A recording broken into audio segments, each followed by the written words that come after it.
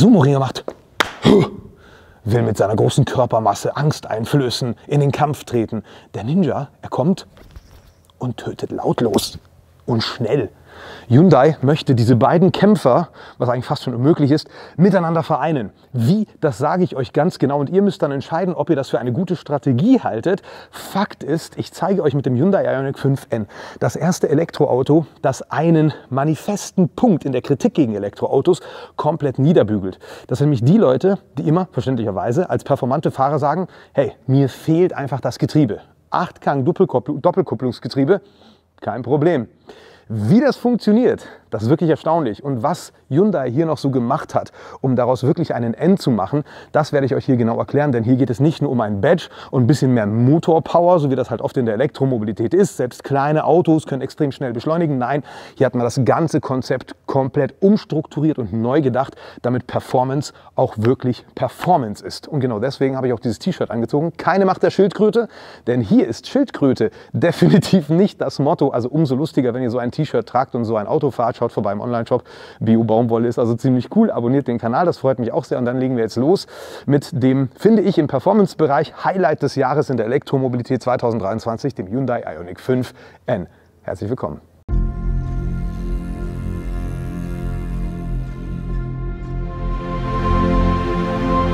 Es gibt ja solche Elektroautos und solche Elektroautos. Elektroautos sind alle schnell. Da sind wir uns einig. Immer schneller als die Verbrenner. Zumindest von 0 auf 100. Dann später schaut es anders aus. Da wird die Luft dünner für den Elektro obenrum. Das soll bei dem hier nicht so sein. Gleich kommen wir zu den ganzen technischen Spezifikationen. Wenn der hier aber zu sehr drüber für euch ist oder auch zu teuer, zu den Preisen kommen wir dann auch noch. Ähm, wobei ich finde, zu teuer kann man jetzt im Preis-Leistungs-Verhältnis nicht sagen. Aber wie gesagt, falls euch das zu viel ist in jeglicher Hinsicht, könnt ihr auf Evium natürlich auch äh, mehr Basic-Autos finden. Völlig egal, ob Tesla oder ein Smart-Angebot haben wir jetzt drin. Das ist so ein ganz besonderes Leasing-Angebot. Schaut dort mal vorbei. Da findet ihr natürlich auch den normalen Ionic 5 ohne das N.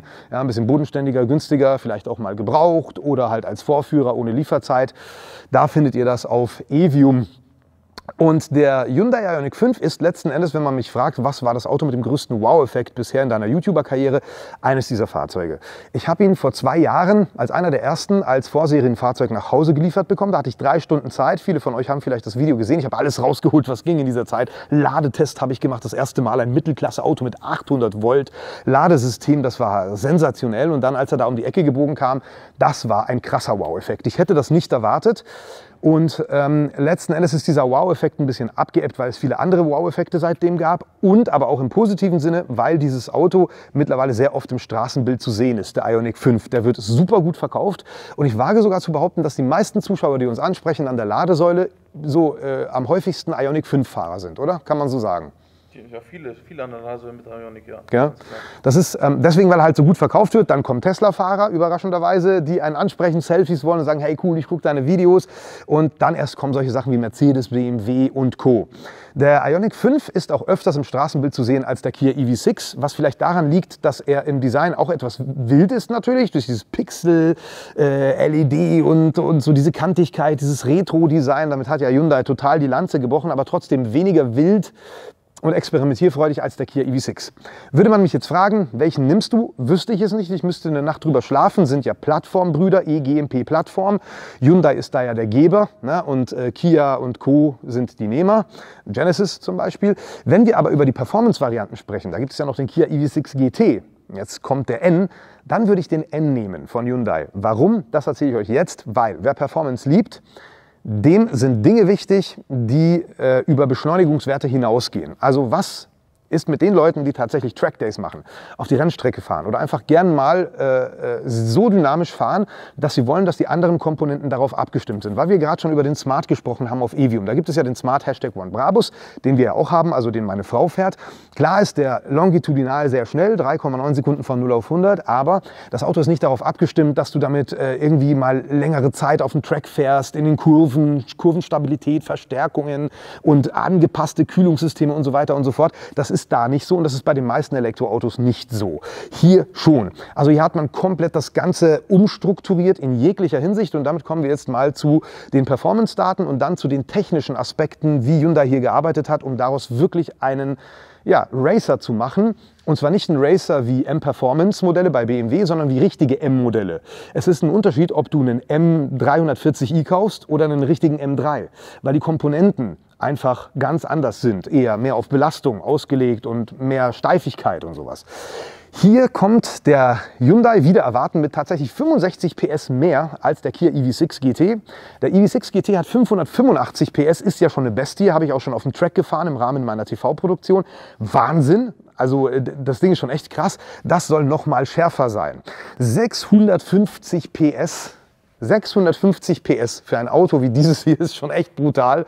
770 Newtonmeter Drehmoment hätte ich echt nicht erwartet. Ich dachte, er ist so auf Level des Kia EV6 oder vielleicht sogar ein bisschen drunter, weil eine Weile lang war ja der Ioniq 5 unter dem Kia, weil er dieses äh, zwei Batteriemodule weniger hatte bis zu dem äh, Modelljahr 2023 und dadurch auch weniger Leistung. Erst später kamen dann die 325 PS, so wie das beim Kia ja schon von Anfang an war. Deswegen überrascht es schon sehr, dass der hier jetzt mit so einem Datenblatt um die Ecke kommt. Der Akku, der diese Power liefert, ist jetzt größer. Es ist die EGMP Akku-Plattform vierter Generation. So heißt das und bietet, und da war ich auch schon ziemlich überrascht, als ich mir das Datenblatt angeguckt habe, 84 Kilowattstunden. Das ist ein Bruttowert. Den Nettowert, da hat man irgendwie gelächelt und mit den Zähnen geknirscht, wollte man mir irgendwie nicht sagen. Wir sprechen aber, ich vermute mal so von ungefähr 5, 6, 7 Kilowattstunden netto mehr, den dieser Wagen hat. Denn mehr Leistung braucht auch mehr Akku. Und genau das hat er eben mit diesen 84 Kilowattstunden. Ob du jetzt damit weiter kommst als mit dem normalen Ionic 5, das vermag ich jetzt nicht zu behaupten. Ich vermute mal auch eben nicht, weil wir ja auch mehr Leistung haben. Wir haben äh, größere Reifen, dazu kommen wir jetzt, so wird sich das wahrscheinlich ähm, ja, ausgleichen vielleicht, ich weiß nicht. Ich kann mir nicht vorstellen, dass ihr damit jetzt weiterkommen werdet. Aber es steht ja bei diesem Auto gar nicht im Fokus, weil wer einen BMW M4 kauft oder einen C63S AMG, der sagt auch nicht, boah, jetzt schaffe ich aber 70 Kilometer weniger auf der Autobahn als mit einem normalen Sechszylinder BMW oder Mercedes. Also das steht hier nicht im Vordergrund. Dieses Auto ist für all diejenigen, die bisher die Finger von der Elektromobilität gelassen haben, weil sie eben gesagt haben, ich will nicht nur geradeaus beschleunigen, ich will in Kurven fetzen, ich fahre auf Trackdays, ich möchte, dass der Wagen einfach richtig dreckig kommt und so lange kommt, wie ich das will und gegensteuere und im Drift bleibe. Und natürlich auch die Schaltvorgänge. Das ist das Krasseste, das möchte ich mir so ein bisschen als Highlight aufheben, weil mich das extrem beeindruckt anguckt. Was hat man hier geändert? Ihr seht schon, also hier sind Modifizierungen vorgenommen worden, nicht zuletzt natürlich äh, Farbakzentuierungen, aber das ist gar nicht der Punkt, sondern natürlich auch im äh, vorderen Bereich äh, eine optimierte Kühlung. Optimierte Kühlung, mehr Leistung braucht mehr Kühlung. Das heißt, Motorölkühlung äh, wurde äh, adaptiert oder modifiziert bzw. angepasst. Und dann natürlich auch die Batteriekühlung. Das ist ein ganz, ganz wichtiger Punkt. Und mit Batteriekühlung wird bei diesem Auto sehr, sehr viel gearbeitet. Das heißt, hier hinter den verschlossenen Türen sozusagen äh, sieht es anders aus als beim, neuen, äh, als beim normalen Ioniq 5. Denn hier sind einfach, wie gesagt, diese überarbeiteten Elemente, die ich euch gerade genannt habe. Und dann natürlich also nicht zuletzt dadurch, dass hier eine, ein, ein, ein größerer Lufteinlass ist, der auch mitarbeitet. Wie ihr seht, ist das jetzt geschlossen, öffnet sich, um eben mehr Luft ähm, an die Motoren äh, zu führen. Ja, Motoren logischerweise vorne und hinten. Den normalen Ioniq 5 gibt es ja wahlweise mit Heckantrieb oder mit Allradantrieb mit 58 Kilowattstunden oder mit 77,4 Kilowattstunden. Da hat der Kunde also Spielraum. Hier ist es so, hier kriegst du natürlich nur den großen Akku und nur einen Allrad, sonst kommst du ja gar nicht auf die Leistung. Das zunächst einmal mal. Dann wurde die Lenksäule verstärkt, ja, eine N-spezifische Lenkstange eingearbeitet, um eben äh, ein ganz anderes äh, Kurvenverhalten herbeizuprovozieren. Das brauchst du nämlich. Du brauchst hier ja mehr Steifigkeit, äh, wenn du den Wagen forderst, als jetzt beim normalen Ioniq 5, der ja schon dann auf jeden Fall äh, schwammiger ist, definitiv. Eigens entwickelte Felgen, aber auch Reifen, das sind äh, Pirelli P0 und äh, die sind extra angepasst für das Fahrzeug. Beim Elektroauto ist das natürlich wichtig. Durch das ganze Drehmoment, durch das Gewicht müssen das natürlich spezielle Reifen sein. 275er 35 auf 21 Zoll. Und das ist dann doch schon eine Größe, was nicht zuletzt dafür sorgen wird, dass ihr natürlich weniger Reichweite habt dann als beim äh, normalen Ioniq 5. Wenn wir jetzt Richtung äh, Mercedes EQS Brabus denken, da ist ja das Paket, das ist ein schöne, äh, schöner Vergleich, das Brabus-Paket sorgt ja für bis zu 7% mehr Effizienz durch das Kit, ne, durch die äh, aerodynamischen ähm, Anpassungen am, am Bodykit und natürlich auch dadurch, dass der Wagen tiefer ist. Der hier ist auch tiefer, der hier hat auch aerodynamische Anpassungen, aber es gibt halt nun mal keinen normalen Ioniq 5 mit dieser Reifengröße. Das heißt, es gibt keinen Vergleichswert zu einem Nicht-N mit dieser Reifengröße. Deswegen wird dieser hier halt wahrscheinlich eben ein äh, bisschen weniger Reichweite haben. Also auch hinten genau dieselbe Reifengröße ist keine Mischbereifung. Hier haben wir nochmal diese Lufteinlässe. Das ist übrigens auch eine exklusive N-Farbe. Das ist so ein Blau-Matt. Es gibt ihn nochmal als Shiny, also nicht als matt, sondern eben glänzend. Ich finde gerade dieses Matt natürlich extrem schön.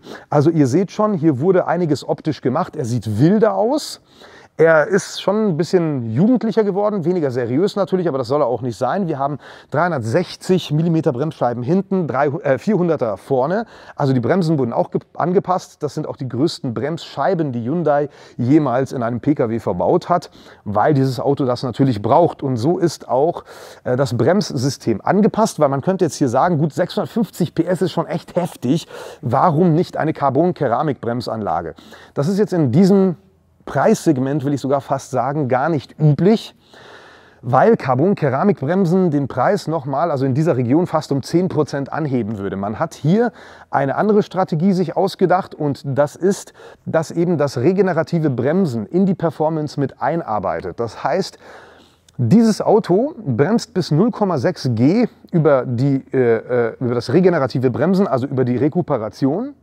Und auch bei dynamischem Fahren hast du somit eine Unterstützung der Bremskraft, die on top kommt. Und erst wenn du über 0,6 G bist in der Bremskraft, schalten die mechanischen Bremsen dazu. Zum Vergleich, ein Audi e-tron hat 0,3 G. Das heißt, alles, was über 0,3 G ist, dann kommt die mechanische Bremse dazu. Hier sind es 0,6. Und das bedeutet auch, dass du, wenn du vom Gas gehst, eine starke Bremsleistung schon hast, eine viel kräftigere als üblicherweise bei Elektroautos, äh, die dich schon mal kräftig abbremst und die dir schon mal auch hilft, durch, diesen, durch dieses Abbremsen dann eben zum Beispiel Drifts einzuleiten. Vor allem, wenn du dann noch mit der mechanischen äh, Bremse zuarbeitest. Also das ist das, wie man sich gedacht hat, eine Carbon-Keramik-Bremsanlage äh, nicht zu verbauen oder sich das besser gesagt zu sparen. Ja, ihr könnt schon mal in die Kommentare schreiben, wie ihr das so vom Design findet, ganz speziell im Vergleich mit dem Kia EV6 GT. Äh, der wiederum bei dem fährt man die Strategie, der hat die gleiche Karosserie wie der normale Kia EV6 mit GT Line, bis auf die Felgen, die Bremsen und die Sitze. Hier kriegst du tatsächlich ein N-Paket, wie du das so halt für den normalen Ioniq 5 nicht kriegst. Nach wie vor sind wir hier natürlich äh, in der Welt des 800 Volt Ladesystems mit ähm, äh, Vehicle to Load. Das heißt, du kannst hier natürlich auch, äh, wie wir das schon vom Ionic kennen, ein, egal was, betreiben, zum Beispiel ein Elektrogrill oder ein Fernseher. Wir kennen ja die ganze Geschichte schon, wurde ja schon oft genug ausprobiert. Mit so einem zusätzlichen Adapter passiert das. Und äh, du kannst 11 kW AC laden, also Wechselstrom, was ungefähr 7,5 bis 8 Stunden bei dieser neuen Batteriegröße sein sollten. Auch an der Wallbox ganz speziell ist das natürlich interessant. Ist natürlich ein Vorteil, wenn ihr eine habt, also eine Möglichkeit zum Laden zu Hause, wenn ihr ein Elektroauto fahrt, denn dann wird ein Schuh draus, logischerweise. Und äh, da könnt ihr dann, wie gesagt, mit 11 kW laden oder eben über 800 Volt äh, mit bis zu 240, habe ich schon gesehen, 250 sogar manchmal schon bei einigen Screenshots von Nutzern, die an 800 Volt Ladesäulen, zum Beispiel von Ionity an den Säulen, da kannst du natürlich 800 Volt ziehen. Wenn du da ansteckst bei einem niedrigen State of Charge, kriegst du schon mal gut die 245 kW Ladepeak drauf. Resultiert auch hier in 18 Minuten von 10 bis 80 Prozent, geht also sackschnell, wenn die Temperatur stimmt und äh, die äh, Vortemperierung wurde ja auch angepasst mit dem neuen Modelljahr. Sollte das eigentlich gar kein Problem sein, dass ihr das äh, hoffentlich auch im Winter schafft. Müsste man es ausprobieren, da könnt ihr natürlich auch eure Erfahrungswerte jetzt mal in die Kommentare reinschreiben. Und wenn das jetzt euer erster Wechsel auf ein richtig performantes Elektroauto ist, dann braucht ihr natürlich eine Wallbox und die kann ich euch empfehlen. Das ist nämlich die Keba Green Edition, die ich habe, weil Green wird hier auch groß geschrieben und deswegen ist natürlich natürlich gut, wenn auch die Wallbox zu Hause eine Green Edition ist. Gibt es auch als Dienstwagen-Wallbox von Keba. Über 400.000 Mal schon verbaut, diese Wallbox. Keba ist da ein sehr bekannter äh, Wallbox-Hersteller, also ist bei den Top-Großen mit dabei, verlinke ich euch unten in der Beschreibungsbox. Und äh, da könnte man natürlich in Deutschland weiterdenken und sagen, wenn ihr eine Photovoltaikanlage habt, ist es natürlich geil, wenn ihr Strom aus dem Akku ziehen könnt und eure, äh, euren Hausstromspeicher laden, so wie ich. Ich habe ja 10,4 äh, Kilowattstunden im Keller, einen BYD-Akku, äh, den mir Citrin Solar hingebaut hat, von denen ist meine Photovoltaikanlage. Und es wäre natürlich geil, kann ich mit meinem Mercedes nicht. Und das geht ja auch in Deutschland nicht aus so steuerrechtlichen Gründen, wenn du halt geladen hast. Natürlich klar, wenn ich kostenlos an Ionity lade, im ersten Jahr mit meinem Mercedes und nach Hause fahre und die Energie in meinen Hausstromspeicher einspeise, dann habe ich natürlich indirekt Steuern hinterzogen letzten Endes. Aber genau deswegen haben die Asiaten ähm, dieses äh, bidirektionale Laden auch eingeführt, weil sie gesagt haben, falls mal Stromausfälle kommen und viele Leute elektrische Fahrzeuge haben, dann kann man äh, auch mit diesem bidirektionalen Laden natürlich auch das, das Stromnetz so ein bisschen ausbalancieren, ne? weil der dient ja dann so als Stromlieferant in dem Moment, wenn man ihn dann so ansteckt. Hier ist die Heckansicht und lustigerweise ist dieses Auto normalerweise äh, 4,63 Meter lang und damit kürzer als ein ID4 und kürzer als ein Enyaq. Hier ist es aber nicht so bei der N-Variante, weil durch diese zusätzlichen Karosserieteile vorne und hinten wächst er um satte 8 cm und misst jetzt nunmehr 4,71 Meter und ist damit länger als der, Ioni äh, als der Enyaq und der ID4. Obwohl die größer aussehen und auch größer sind mit dem Kofferraum, ähm, ist es tatsächlich so, dass der hier länger ist. 5,5 cm sind es hier hinten durch dieses Anbauteil und 2,5 cm sind es vorne. Und wenn man die beiden Werte addiert zu den bisherigen 4,63 Meter, dann kommt man halt eben auf 4,71 Meter.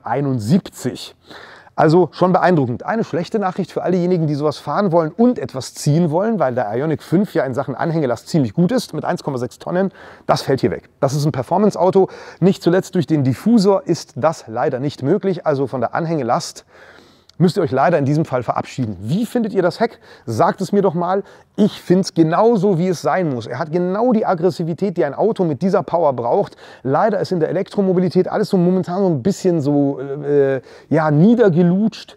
So, ne, dass man sagt, so ja, viel Power, aber man soll es nicht sehen. Bestes Beispiel sind ja die Tesla-Modelle, die unfassbar viel Power haben, auch das Plaid und sieht auch geil aus, aber es sieht halt nicht aus wie 1020 PS oder das Model 3 Performance sieht halt nicht danach aus, was es kann. Und dieses progressive, etwas zurückhaltende nervt halt immer so ein bisschen, dass man sich da nicht e-, etwas traut. Und Hyundai traut sich und ballert hier einfach diese Anbauteile. Die sagen, hey, wenn dir das nicht gefällt und wenn dir das zu prollig ist, dann kauf's halt nicht. So, ganz einfach. Aber ein Auto mit 650 PS soll verdammt nochmal auch so aussehen. Ob er jetzt nach 650 PS aussieht, weiß ich nicht, tut er glaube ich nicht. Da sind wir von den Verbrennern zu sehr verwöhnt, wo auch schon Autos mit 450 PS riesige Carbon-Heckflügel haben und Co. Das hat man sich hier gespart. Man hat hier das, ne, auch aus dem Formel Formel 1 äh, Bereich, ne, diesen, diesen Heckspoiler, hier mit, dem, mit der Kamera für, die, für den digitalen Innenspiegel, also für den digitalen Rückspiegel und hier dann natürlich nochmal das dritte Bremslicht, sieht cool aus und auch dieses Pixel-LED, das hat mir immer wahnsinnig gut gefallen. Mir war der Ionic 5 bis jetzt so ein bisschen zu brav, merke ich gerade, wenn ich mir den hier angucke. Thema Kofferraum, mal abgesehen davon, das erinnert so ein bisschen hier an Renault 5, ne? oder an den, an den äh, Alpinen A290, den wir vor kurzem präsentiert haben.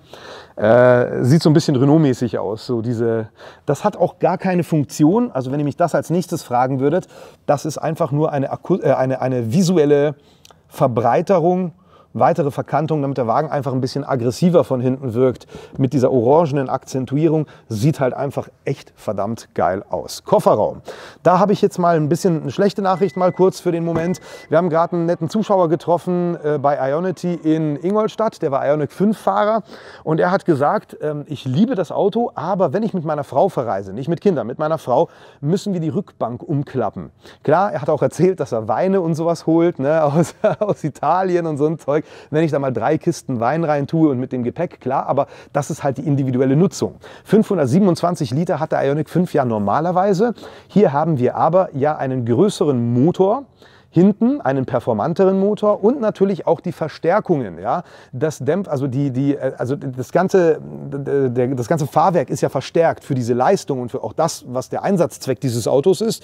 Und dadurch sind da halt Komponenten, die ein bisschen Kofferraumvolumen nehmen und von den 527 Litern schrumpft das Ganze auf 480 Liter. Würde ich jetzt so visuell gar nicht mal sagen, weil es sieht mehr aus, finde ich, weil es schon eine große Fläche ist. Ich finde, man kann zu zweit schon mit diesem Auto verreisen. Hier drunter haben wir aber nichts. Das seht ihr auch. Da muss der Francesco gar nicht die Kamera anwinkeln. Hier gibt es nichts.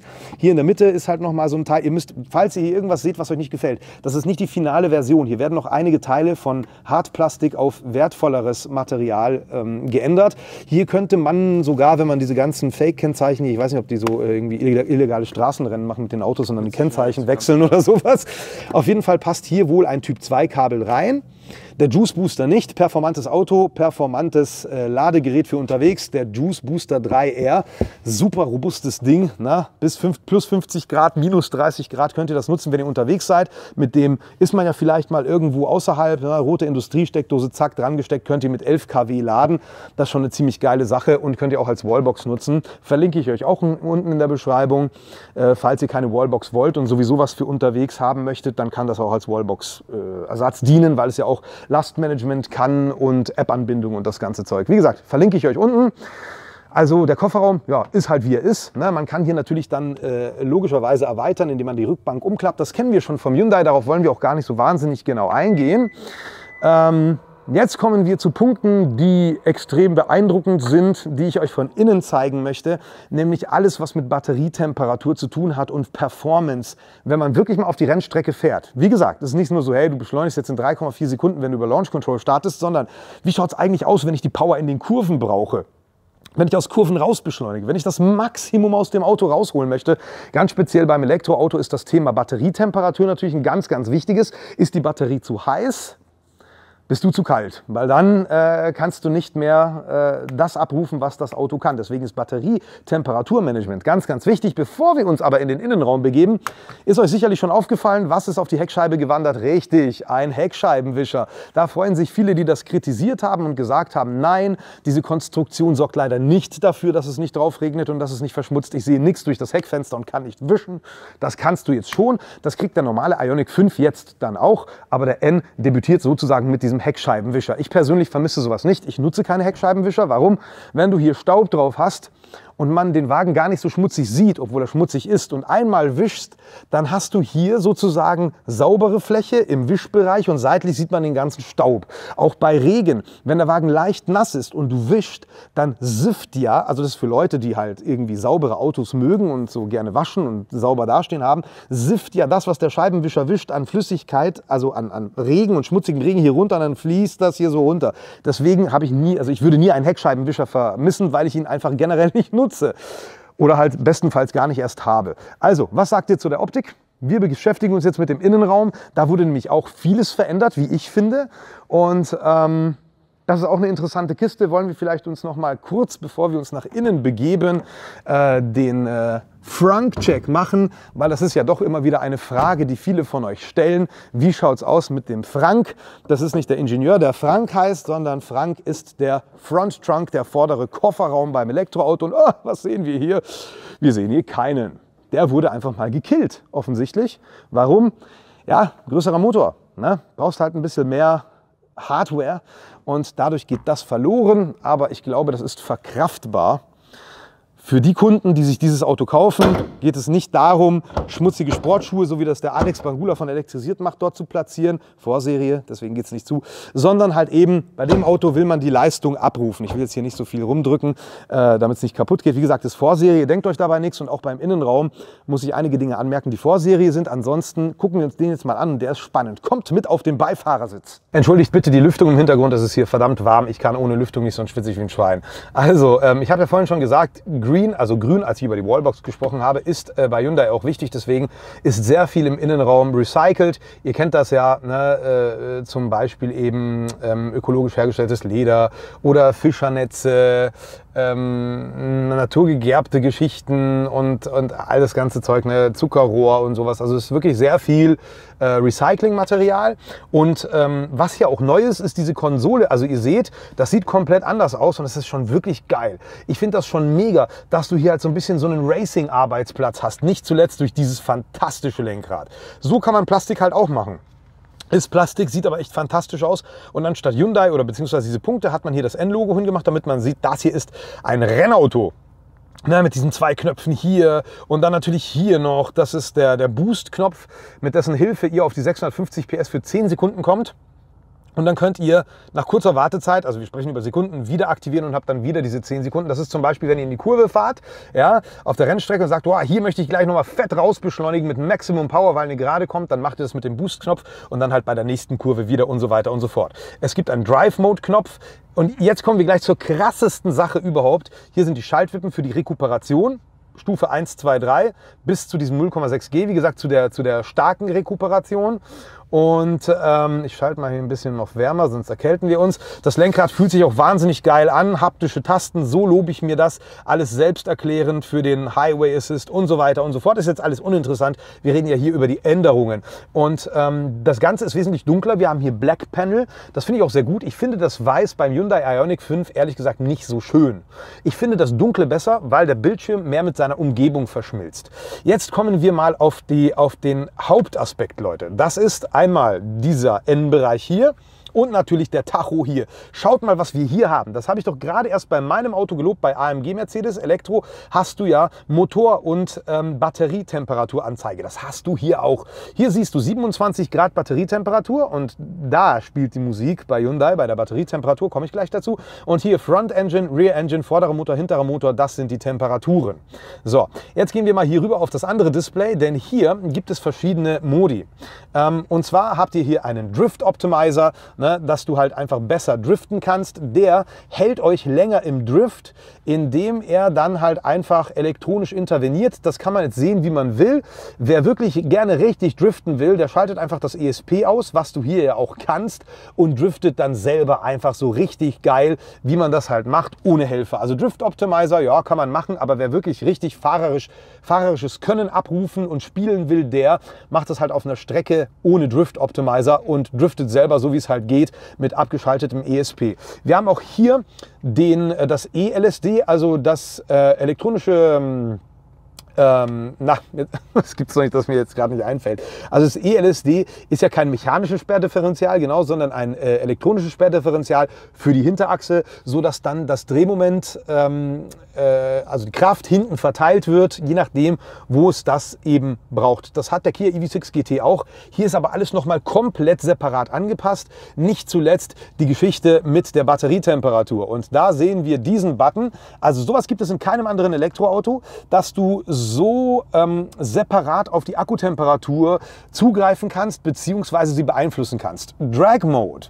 Wenn du auf Drag Mode gehst, heißt das, dass das Auto jetzt die Batterie so vortemperiert, dass du Drag Race machen kannst. Also eben kurze impulsive Beschleunigung. Das heißt, die Akkutemperatur muss eben dementsprechend sein, dass du ähm, kurze, starke Impulse setzen kannst und kurzzeitig eben die, äh, die Leistung abrufen. Und äh, hier steht suitable 30 bis 40 Grad. Da hast du die ideale Akkutemperatur. Die darf dann auch hoch sein, weil du ja nur kurz abrufst.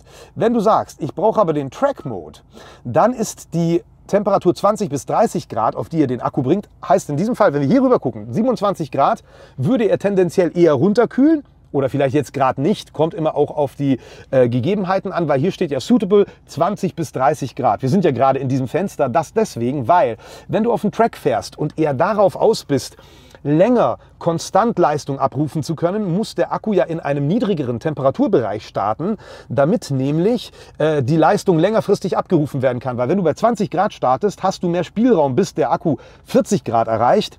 Startest du wiederum schon von Haus aus bei 35 Grad hast du ja nicht so einen hohen Spielraum, lange Leistung abzurufen. Also das ist schon wirklich echt krass. Hier siehst du die Torque Distribution. Ne?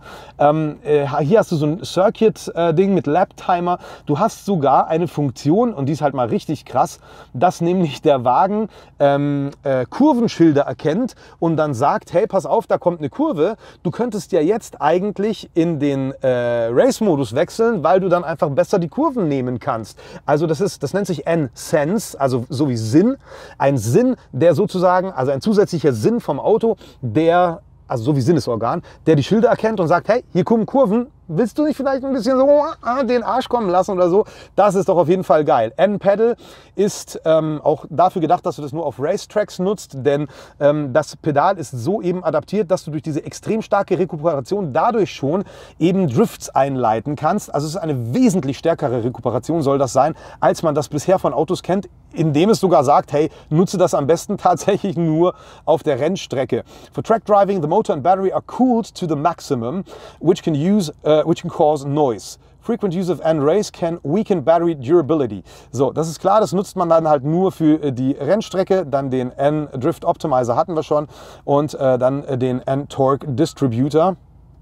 Ähm, auch natürlich nur auf Racetracks. Also das ist schon echt eine geile Sache, was du hier so einstellen kannst. Genau das wollen doch Freaks, die halt so gerne so ab, abrufen. Ne? Hier hast du ein Motor-Setup, Steering-Setup, ähm, Dämpfungs-Setup, Sport Plus. Hier das ELSD, was ich euch gerade erklärt habe, auch Sport Plus. Das ist sozusagen die schärfste Variante. Hier ne? kannst du das Head-Up-Display dann sozusagen auf Sport oder auf Normal stellen. In seiner Anzeige and Launch Control kannst du aktivieren, damit es in 3,4 Sekunden von 0 auf 100 geht. Hier nochmal die Performance Options. Road Grip Level. Schau mal, was du hier alles einstellen kannst. Und hier ist der Hauptaspekt in diesem Video, zu dem wir kommen, und das ist NE Shift. Wisst ihr, wie krass das ist? Wenn ihr das aktiviert, Alert Sound und dann Activate, dann wird die Rekuperationsfunktion hier weggenommen von den Schaltpedals und das ist das erste Elektroauto, das durch die Schaltpedals tatsächlich schaltet, aber nicht schaltet, sondern schalten simuliert. Wie macht er das? Es wird ins Drehzahlband eingegriffen. Wenn du das aktivierst, kannst du, wenn du auf der Rennstrecke fährst und sagst, okay, ich brauche die Gänge, ich brauche die Schaltvorgänge, ich brauche das, um es zu fühlen, bei diesem, beim Elektroauto-Feeling, wo du nur einen Gang hast und immer die Leistung so pff, kommt, kann ich das nicht so richtig fühlen, vor allem bei Lastwechseln, wenn ich eben durch ein Zurückschalten ähm, eben Drehzahl haben will, um dann irgendwie einen Drift einzuleiten oder aus der Kurve raus zu beschleunigen, kannst du das mit dem NE-Shift, indem das dann als äh, Gangwahlhebel dient und du hast tatsächlich echte acht Gänge die du dann schaltest, also es simuliert acht Gänge, wie das ähm, Achtgang-Doppelkupplungsgetriebe von Hyundai äh, bei den N-Modellen. Das war also richtig und er greift auch so ins Drehzahlband ein, dass du diese Schubser hast vom Doppelkupplungsgetriebe beim Schalten. Das ist sowas von krass, dass die sowas gemacht haben, weil ähm, äh, sie haben ja halt keine Gänge, aber es simuliert das und das soll dir helfen bei dem Performance-Abruf und du kannst sogar, wenn du sagst, ich schalte jetzt nicht hoch, fährst du in den Drehzahlbegrenzer. Das dreht bis 8000, das siehst du hier dann auch und dann machst du so wie ihr das kennt halt, ne, wenn man nicht hochschaltet und in den Drehzahlbegrenzer fährt. Das ist unglaublich geil und finde ich unglaublich wichtig für Menschen, die das gerne abrufen wollen, einfach zu schalten. Du kannst die Schaltpedals für die Rekuperation tatsächlich umprogrammieren auf eine Achtgang Doppelkupplungsgetriebe Schaltungssimulation. Aber das ist ja egal in dem Fall. Die haben auch gesagt, dass wenn man dir die Augen verbindet und nicht, du nicht weißt, dass du hier drin sitzt in, äh, in einem Elektroauto, könntest du vielleicht gar nicht sagen, dass du nicht im Verbrenner sitzt, weil du hast hier auch den äh, N-Sound. Das ist so das Ding, wo ich sage, den Ninja mit dem Sumo-Ringer zu kombinieren. Ich finde diese Sounds so ein bisschen überflüssig. Ähm, aber ja, also letzten Endes kannst du halt so verschiedene Sounds aktivieren, die dir dann über die Bose-Lautsprecher so ein ganz besonderes Erlebnis geben. Ne? Und äh, hier ist das Road Sense, was ich gerade gesagt habe, wenn er der Verkehrszeichen liest und dann halt hier natürlich die Battery Conditioning, Drag und Track kannst du hier auch machen, wo er hier natürlich auch wieder optimiert. Ne? Das hatten wir ja auch schon, dieses Thema und die N-Launch Control. Also eine krasse, krasse, krasse Sache, Leute, wirklich. Die Innenraumgestaltung finde ich super gut, viel wertiger als auch bisher. Das ist gut, das ist gut, das ist gut. Das ist einfach ein Performance-Auto. Die Rennschalensitze zeige ich euch noch mal schnell. Da filmt der Francesco mal drauf, während ich aussteige. Und äh, da siehst du hier ähm, eine Mischung aus äh, sowas wie Alcantara bzw. Velour und Leder mit einem beleuchteten Endzeichen. Sieht mega aus, bietet richtige Stabilität, sind richtige Schalensitze, so wie das in so einem Auto sein muss und natürlich auch mechanisch verstellbar an dieser Stelle, um da natürlich auch dieses Racing-Feeling entsprechend zu haben. Cupholder hier unten. Das ist jetzt eigentlich uninteressant. Es geht ja hier um die Performance, wie gesagt. Also das mit den Gängen, das ist schon eine richtig kranke Nummer, Leute. Und Hyundai hat es zuerst gemacht. Rücksitzcheck noch schnell und dann sind wir fertig. Kurzer Rücksitzbankcheck, weil auch in diesem Auto wird wahrscheinlich die Familie mal Platz nehmen. Schaut mal, wie viel Platz ich habe. Ich wundere mich gerade echt. Hinter mir selbst für die, die mich nicht kennen und das erste Mal gucken, ich bin 1,88 Meter, habe wieder kurze Hosen an, was mein Vater mir verboten hat für Videos, weil es kacke aussieht, aber es ist einfach zu heiß. Schau mal hier, fast zwei Carmaniac-Fäuste, also hier ist mehr als genug Platz. Kein Kardantunnel natürlich, hier alles sehr viel Freiheit und äh, sitzt sich auch gut. Ich kann auch aufrecht sitzen, aber mein Kopf berührt dann die Decke und äh, wir haben hier nochmal so Jalousien zum Zumachen und ich habe hier auf jeden Fall genug Platz. Wir haben Isofix-Punkte hier hinten vorne in der Rennschalen-Sitz-Thematik natürlich nicht, aber hier hinten schon. Also zwei Isofix-Punkte, hier sind die Bügel zwischen den Sitzen. Kannst also auch Kindersitze befestigen und die werden auch Platz haben, weil hier eben genug Platz ist für eine Station, wo auch die Beine der Kinder Platz haben. Finde ich also sehr gut. Platztechnisch ist das top, bis auf der Kofferraum, der halt jetzt ein bisschen kleiner ausfällt, aber das kann man verkraften bei so einem Fahrzeug mit so viel Power, wo der Fokus woanders liegt, denke ich, oder? Was meint ihr?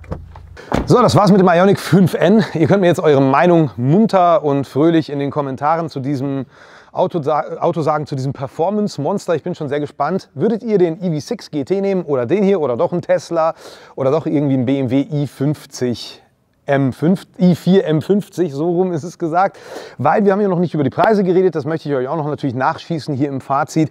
Also, Preise haben sie noch nicht kommuniziert, aber wir können jetzt mal so eine, äh, äh so eine Richtung weisen. Und zwar, wenn wir Richtung äh, Hyundai äh, i30 gucken, da gibt es ja auch den i30N, und äh, da ist es so, 30.000 Euro kostet der i30 im Grundpreis und 33.690. Also es sind 3.000 Euro Unterschied zwischen i30 und i30N. Wenn man aber auf den Fastback geht, also mit dieser Coupé-Form, der auch sehr beliebt ist, weil er sehr schön ist, da ist die Preisdifferenz zwischen normalen i30 und i30 Fastback N bei 7000 Euro. Und ich vermute mal stark, dass man hier auch in diese Richtung gehen wird, weil Hyundai gesagt hat, wir wollen bei diesem Auto die NDNA auch in, in, in dieser Preisgestaltung aufrechterhalten, nämlich dass es trotzdem noch erschwinglich sein soll. Das ist jetzt natürlich relativ zu sehen, weil das Auto ja doppelt so teuer ist im Grundpreis schon, der Ioniq 5, als ein i30, weil der Ioniq 5 mit großer Batterie und Allradantrieb liegt momentan, glaube ich, also ohne N, bei 61.000 Euro und ein paar zerquetschten. Wenn du jetzt natürlich noch das N nimmst, wirst du hier wahrscheinlich bei knapp unter 70 landen. Ich vermute mal so 67, 68.000 wird er kosten. Und dann, wenn du noch ein bisschen Schnickschnack dazu nimmst, was ja nicht mehr so, ist nicht mehr so viel Luft nach oben, aber so, ja, 72, 73.000 wird er schon kosten können, vermute ich mal. Sagen wir mal 75 vielleicht. Ist jetzt nur Mutmaßung, wenn ich mich an den anderen N-Modellen äh, von Hyundai orientiere. Das ist aber ein super fairer Preis. Also es ist nicht günstig. Dann kommen jetzt wieder alle, die sagen, wie soll ich mir das als Familienvater leisten können? Klar, dann brauchst du halt keinen Ionic 5N ist ja klar, es gibt ja auch äh, äh, günstigere Fahrzeuge, nur halt nicht natürlich in dem Performance-Bereich. Da ist nach wie vor so, dass der Verbrenner logischerweise auch als Performance-Auto, vor allem weil es da viele Gebrauchte gibt, einfach günstiger ist als ein Elektroauto auch noch mit dieser Performance. Aber für 650 PS, für all die Anpassungen, die hier gemacht worden sind, ja, mit, mit der ganzen Hardware, mit den Kühlungen, mit, mit der ganzen Technik, sind 72.000 Euro deswegen nicht viel, weil ihr mir ja jetzt gerne noch in den Kommentaren eine Verbrenneralternative nennen könnt, die das kann, was der kann nur aus der Verbrennerwelt für 72k voll ausgestattet. Fällt mir jetzt ehrlich gesagt nicht viel ein. Also BMW M2 Competition, auch wenn ein kleineres Auto, äh, der neue, den kriegst du ja auch auf 85,90 voll ausgestattet und er hat dann keine 650 PS. Also wie gesagt, schaut vorbei auf Evium, da findet ihr natürlich auch günstigere Autos, logischerweise, weil gebraucht oder eben Vorführer. Spezialangebot für den Smart Hashtag One, sage ich auch immer wieder dazu, weil das ist ein begrenztes Kontingent, also äh, solltet ihr dann natürlich zugreifen, wenn euch dieses Auto interessiert. Ansonsten müsst ihr auch da nichts kaufen an äh, Autos, davon habe ich auch nichts, äh, sondern ähm, ihr könnt alternativ euch auch umgucken. Es gibt zu jedem Auto ein Video von mir, es gibt den Kostenvergleichsrechner, den, den, den Ladesäulenfinder, das soll euch euch ja so als Hilfeleistung dienen, wenn ihr eben gerade aus der Verbrennerwelt kommt und euch für Elektroautos interessiert. Also schaut vorbei auf Evium, da werdet ihr auf jeden Fall fündig, egal was ihr sucht. Und dann vielen Dank Hyundai, dass ihr äh, den, den, das Wort Performance genau richtig in die Elektromobilität gebracht habt und sozusagen den Verbrenner äh, die Elektroauto-Gegner sind, zum Beispiel wegen Gangschaltung, einfach komplett den Wind aus den Segeln genommen habt. Tschö mit Ö!